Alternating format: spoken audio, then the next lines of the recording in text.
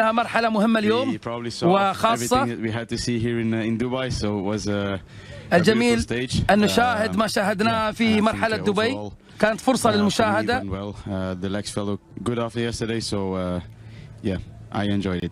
uh, كانت فرصة للراحة uh, بعد مرحلة الجهد في يوم أمس.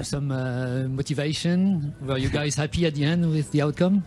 No, of course we we we try to win with him, of course, but um, I think it's quite clear now that I'm in the in the leader's jersey. Uh, المشاهدة بالنسبة للمرحلة الماضية وأيضا هناك الفرصة للفوز وكان لابد من الفوز وهذا ما حدث في يوم أمس و...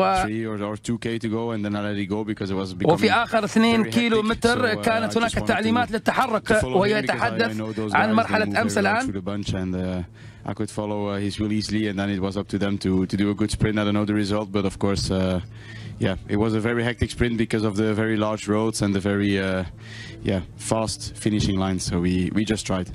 In the next two اليوم days, أيضا also كانت flat المحاولة stages, مع do you الشارع hope for the والطريقة same التي scenario? كانت هي واسعة تكتيكيا Um, وأيضا yeah, وسط the wind is- دراجين is, uh, مختصين actually في not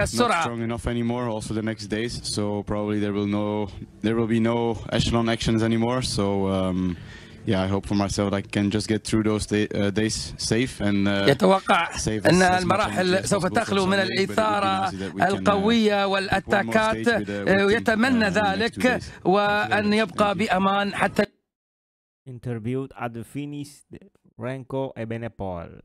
Las palabras de Renko Ebenepol en la entrevista al final de la etapa. Bueno, así quedó el resultado de la etapa número 4 con Juan Sebastián Molano, el colombiano que ha ganado la etapa. Segundo para Ola Coy. Tercero para Sam Welford. Cuarto para Arvid de Klein. Quinto para Dylan Grenewegen. Sexto para Danny Van Poppel. Séptimo para Margin Van der Berg. Octavo para Sam Bennett. Noveno Tim Melier. Y décimo John Averasturi Izaga. Y aquí tenemos, atención, que Renko Ebenepoel, el belga, lleva transcurrido 12 horas 17 minutos 23 segundos. Todo el pelotón lleva transcurrido este tiempo. Renko Ebenepoel es el líder del UAE Tour.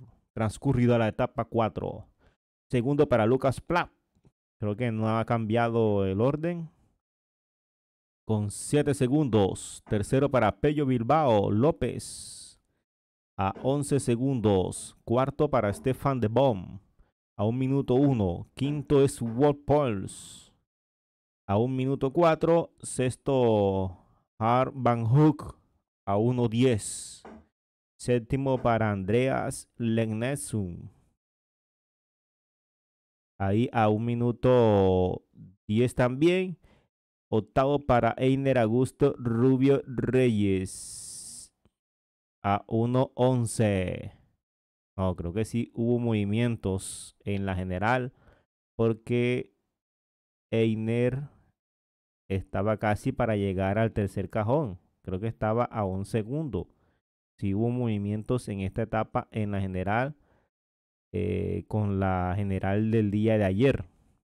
Así es. Noveno para George Steinhauser.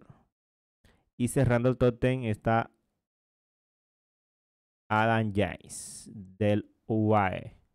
Bueno, estas fueron las palabras en la entrevista del líder de la general Renko Renko Ebenepoel.